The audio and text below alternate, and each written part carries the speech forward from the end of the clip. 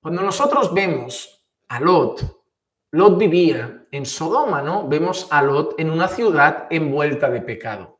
Pero la Biblia se refiere a Lot como el justo Lot. No dice que él fuera como el resto, lo llama el justo Lot. Y en una parte de la escritura dice que el alma de Lot, el corazón de Lot, estaba atribulada por las cosas que oía y que veía a su alrededor. Lot estaba allí, en una ciudad envuelta de terribles pecados. Pero Lot sentía algo. Dice que su alma, que su corazón estaba abrumado, estaba zarandeado, sacudido, agobiado por lo que veía, por lo que escuchaba a su alrededor. Cuando una persona es creyente, ama lo que Dios ama y aborrece lo que Dios aborrece. Por lo tanto, tengo la plena convicción de que un verdadero creyente como Lot se debe sentir abrumado al ver y oír lo que hay a nuestro alrededor en este mundo.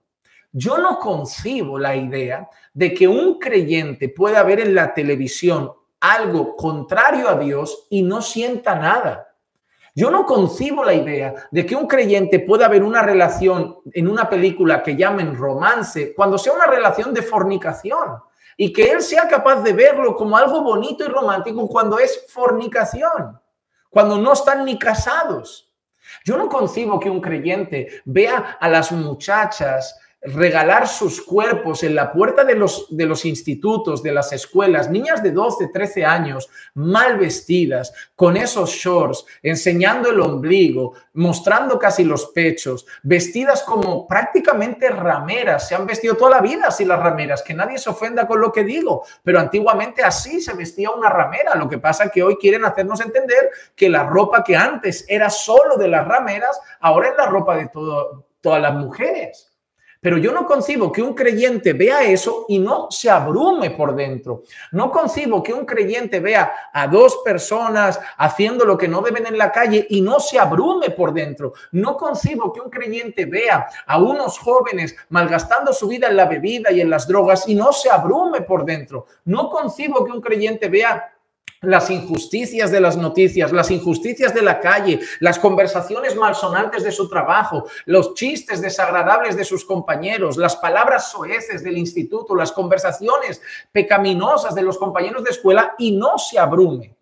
Porque Lot podía estar en Sodoma, pero la palabra dice que el justo Lot estaba abrumado por lo que oía y por lo que veía, le, le traía sufrimiento al corazón, todo eso.